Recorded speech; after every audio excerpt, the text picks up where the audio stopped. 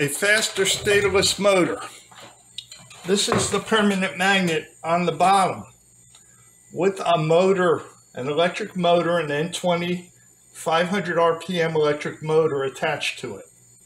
So the motor is going to spin the magnet around and the magnet, which you can see is like compass. So it's always going to try and point north. And it has quite a lot of force there or torque that makes it point north. So while the magnet stays still, the motor is actually going to turn the armature of this permanent magnet statorless motor in a circle. And it goes pretty fast. So I'm going to start it up. And north is facing this way towards the camera. So you can see it's going slow, so I'm going to bring it up to the next speed. It has to be accelerated slowly. Otherwise it will go out of phase. See, it went out of phase because I accelerated too slowly, too quickly. So let's try it again. I did get it going pretty fast before. So let's try.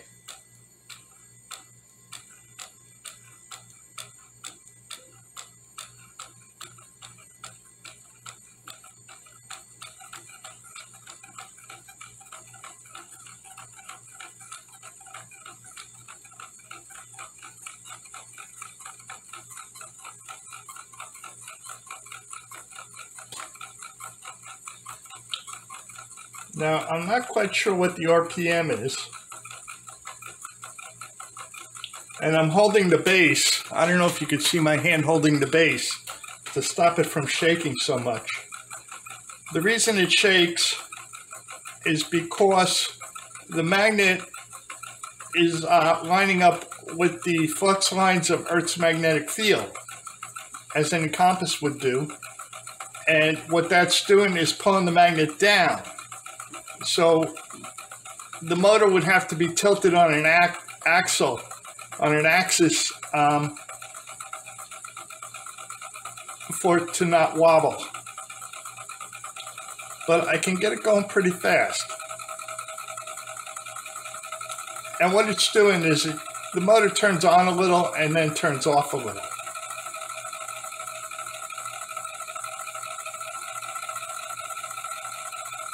So let's see how fast I can get it to go.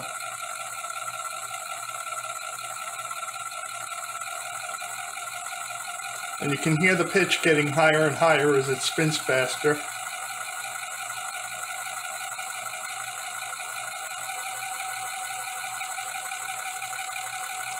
I don't think we could get it up to 500 RPM, maybe 300 or maybe higher.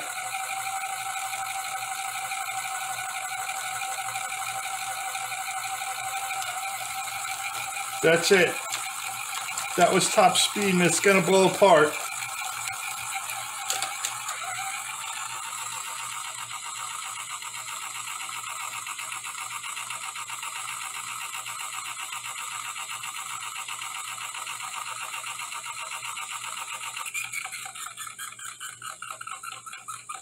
So that was a fun experiment.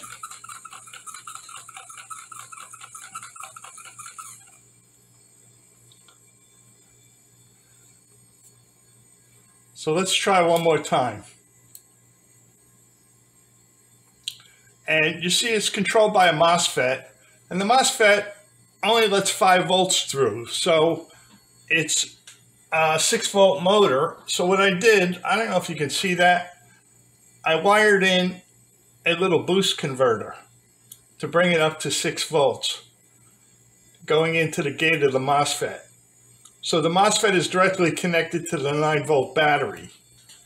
The Arduino is connected to the 9 volt battery, but the the uh, digital pin going from the Arduino to the gate of the MOSFET is only a little less than 5 volts.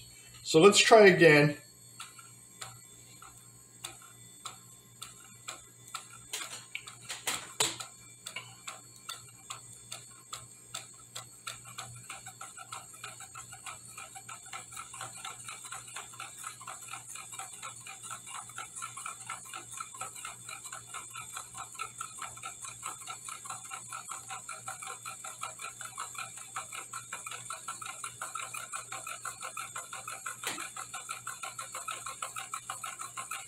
So you can see we got it going pretty fast. I, what I have to do is watch it in slow motion and count how many turns to get the RPM.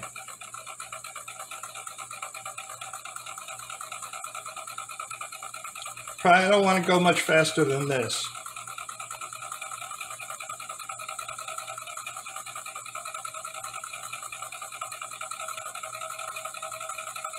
Maybe one more notch.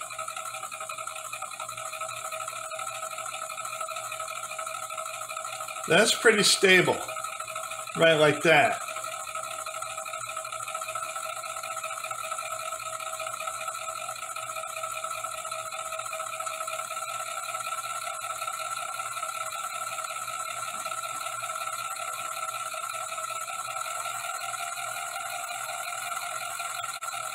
I'm a little cautious about going any faster. It really is rocking and rolling now. One more.